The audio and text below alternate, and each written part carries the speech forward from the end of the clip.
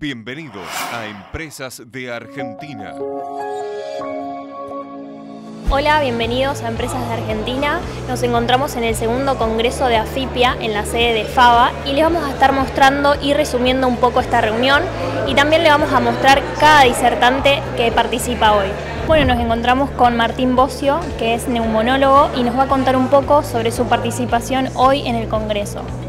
Eh, bueno, gracias por la invitación antes que nada.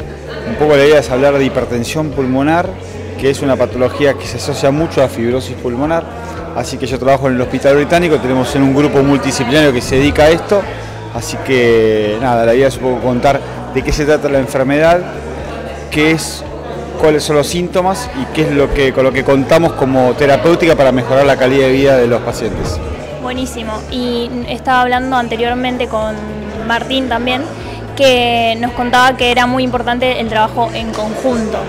Sí, yo creo que para todas las patologías eh, crónicas eh, generalmente involucran mucho más de una especialidad, así que me parece que la medicina está tan amplia que es importante la interacción y la, multidisciplinaridad porque básicamente va en beneficio del paciente. Uno no puede saber eh, mucho de todo, puede saber mucho de algo específico.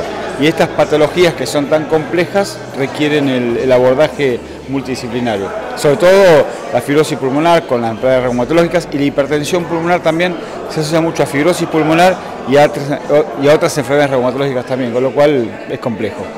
Buenísimo. Y su tema es muy específico también.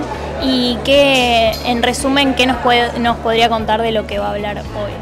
Eh, es un tema muy específico, por suerte es raro, pues es una patología rara, pero es básicamente cuando uno tiene presión alta, lo que hacemos es tomar con un tensiómetro la presión del paciente.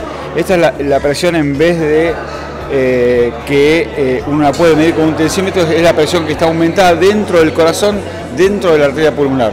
Con lo cual es muy difícil abordar y medirla, entonces para eso se necesita una, una serie de procesos y estudios hasta lograr definir si tiene o no tiene presión pulmonar nuestro paciente. Y es importante saberlo porque va a marcar cuál va a ser el pronóstico de ese paciente un paciente con hipertensión pulmonar eh, va a tener un pronóstico y un paciente sin hipertensión pulmonar va a tener otro mucho mejor. Entonces, hoy en día, como contamos medicamentos para tratarlos y en cuanto más precoz lo diagnostiquemos, vamos a hacer que casi los dos pacientes tengan la misma evolución.